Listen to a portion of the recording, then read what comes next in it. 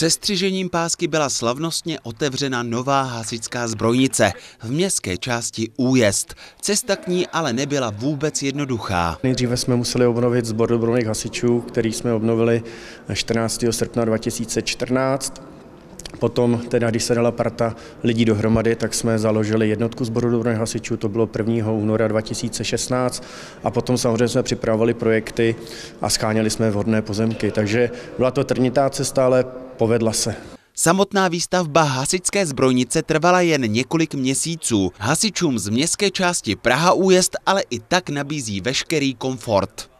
Nabízí eh, samozřejmě jak zázemí pro ty eh, jednotlivé hasiče, tak samozřejmě zázemí pro tu civilní část. Teď se nacházíme v garáži číslo jedna, což je vlastně zázemí pro techniku. Je to zázemí pro techniku přímo nás hasičů, která bude sloužit k výjezdům. Eh, ta stanice může sloužit, ona je koncipována jako schromaždiště osob v případě nějakých generálních událostí a zároveň samozřejmě slouží v případě vzhledem k její bavenosti jako centrum řízení krizového štábu. Nová hasičská zbrojnice je vybavená i skluzovou tyčí.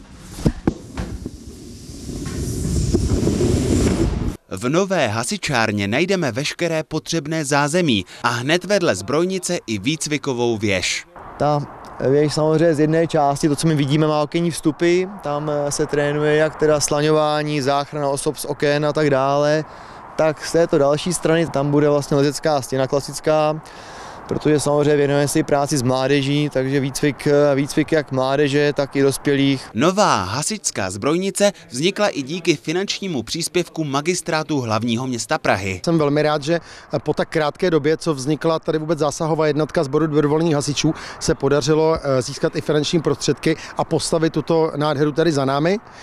Praha trvale podporuje hasiče, v tomto případě se jedná teda o sbor dobrovolných hasičů a jeho zásahovou jednotku parku, tak plní také tu společenskou funkci eh, na městských částech, takže není to pouze o té, eh, o té hasičské práci. Hasičárna tak bude i dějištěm společenských a kulturních akcí a povede i k rozvoji spolkového života v městské části Újezd. Lukáš Kubát, Televize Praha.